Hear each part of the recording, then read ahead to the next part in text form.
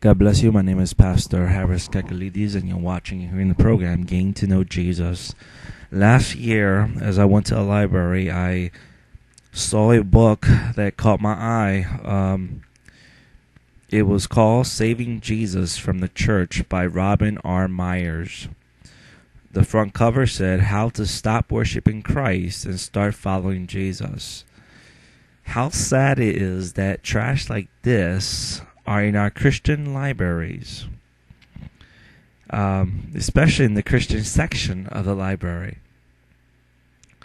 and bookstores, which state that we don't need to worship Jesus, we just need to follow him. Jesus Christ needs to be worshiped and needs to be obeyed as God. Isaiah 9, verse 6, speaking about Jesus, the Messiah says, for unto us a child is born, unto us a son is given.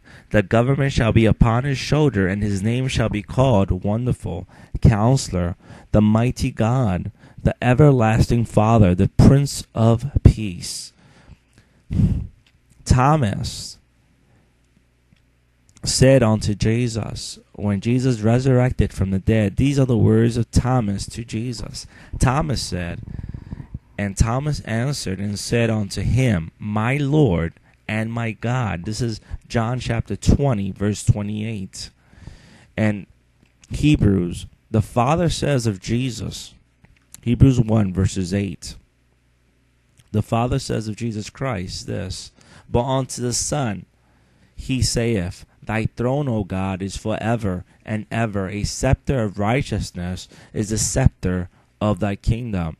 And when the wise men saw Jesus, they worshipped him. If you read Matthew chapter 2, um, a matter of fact, their words um, to Herod was, Where is that is born? Where is he that is born?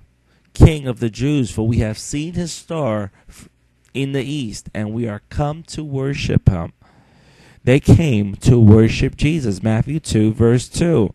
And when they got to the child, they worshipped him. The Bible says this. Look look at um, Matthew chapter 2 verses 11 and 12. And they, and when they were come into the house, they saw the young child with Mary his mother, and fell down and worshipped him. And when they had opened their treasures, they presented unto him gifts of gold, frankincense, and myrrh. So they came to worship Jesus. Jesus is worshiped all through the whole Bible. Jesus is God manifested in human form.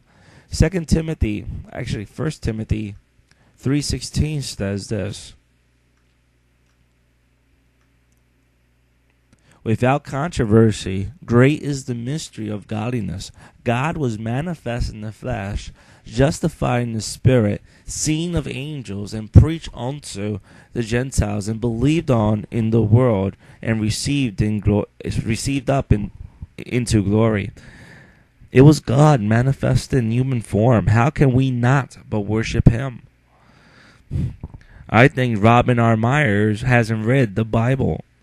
I think he's a false prophet, and I think that he's casting many people to hell along with him.